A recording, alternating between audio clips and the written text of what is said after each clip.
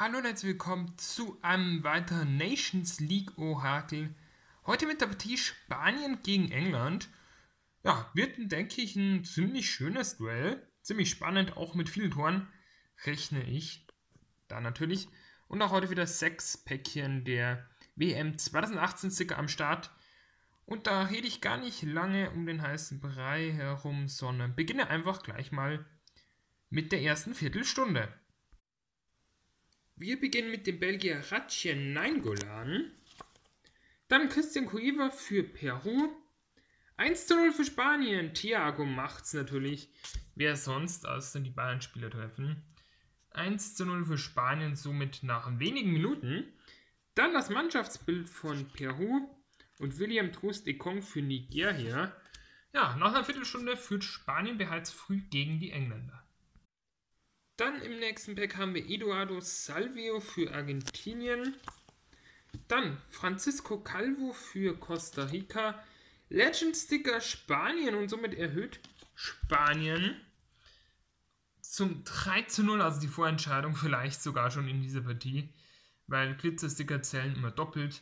Und auch von England gibt es einen Legend Sticker, also würden beide Legend Sticker zählen, somit 3 zu 0 für Spanien nach einer guten halben Stunde. Ryan McGovern haben wir noch für Australien und Philipp Kostic für Serbien.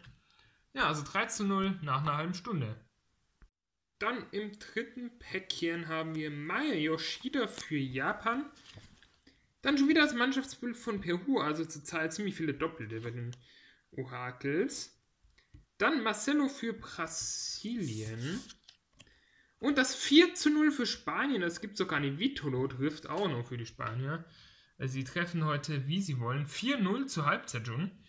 Zwischen Spanien und England und ja, Abdul Marek Al-Kaibri haben wir noch für Saudi-Arabien. So mit Halbzeit 4-0 für Spanien. Diese Partie ist entschieden.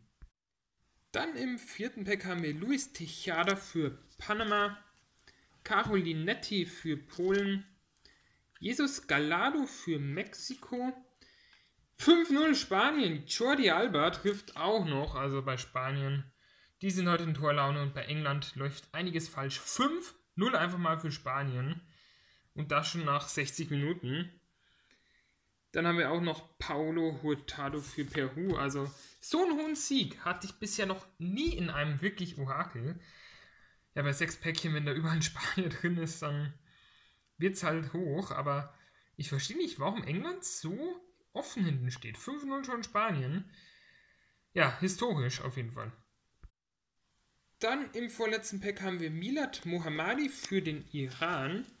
Dann Hordo Magnusson für Island. Die Isländer hatten wir davor schon im Orakel. Dann Mannschaftsbild von Kolumbien. Hugo Ayala für Mexiko. Und Dian Noffen für Kroatien. Kein weiteres Tor für die Spanier. Da schießt er eh schon 5-0. Die Entscheidung ist gefallen wenn es noch ein Ausgleich sein soll für England, müssten jetzt fünf Engländer in ein Pack kommen. Aber das gibt es nicht. Also Spanien hat heute schon mal gewonnen. Kommt noch mal ein Engländer oder ein Spanier im letzten Pack. Wir beginnen auf jeden Fall mit Jimmy Dumatz für Schweden. Und das gibt's nicht. Schon wieder Jordi Alba. Hier Jordi Alba zum zweiten Mal. Also 6-0 Spanien gegen England. Vielleicht treffen ja die Engländer nochmal einen Ehrentreffer. Würde ich ihn auf jeden Fall noch gönnen. Nigeria, Itebo Ochenkaro, Carlos Bakker für Kolumbien und Branislav Ivanovic für Serbien. Somit, ja, Spanien deklassiert England mit sage und schreibe 6 zu 0. Sechs Stickerpäckchen haben wir gehabt und die machen einfach sechs Tore.